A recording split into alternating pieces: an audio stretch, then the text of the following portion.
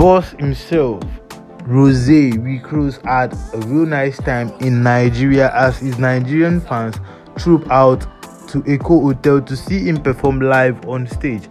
Rick Ross landed in Nigeria yesterday and he had linked up with several NSC and Belaire ambassadors. It was a real good time. If you've been following our updates, you'll see that I talked about Rick Ross getting to Nigeria yesterday and having a real nice time. Well, later in the evening, Rick Ross had such a nice performance live on stage where his fans were having a good time with him, and we could see that Rick Ross enjoyed himself in Nigeria.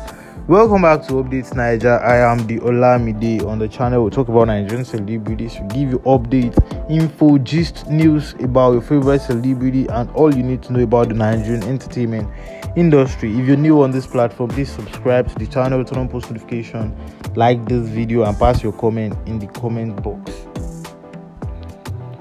The award-winning American rapper and businessman Rick Ross, who is popularly known for his Nick, the boss, stormed Nigeria yesterday to honor the invitation from Belaire, which is an international alcohol brand, and we actually could see that Rick Ross had a real nice time in Nigeria as he was on the high side of life, eager to meet his Nigerian fans and also Nigerian influencers.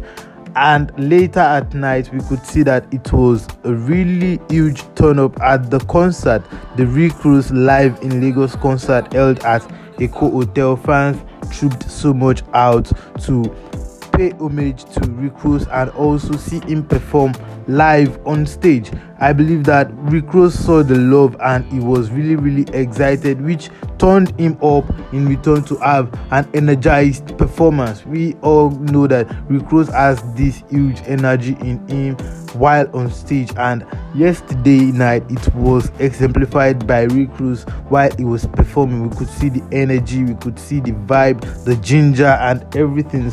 Um, fans got really turned up last night for Rick song. Although not so many of the people present at this venue know so much of Rick song, but few songs by Rick Ross got popular in Nigeria, and it is a song that is an household song. People, you know, sang this song word for word, but some of Rick tracks could not be sung by these people. But we know that Rick Ross has a huge fan base in Nigeria, and he saw that all for himself yesterday as he could see the turnout of love people poured out for him. People poured so much love out for him in just a short period of time, which the concert was announced. People got their ticket, and it was such a shut down show. Congratulations to the organizers of this show. I believe that the next of this show is going to be big. More artists to even come to Nigeria.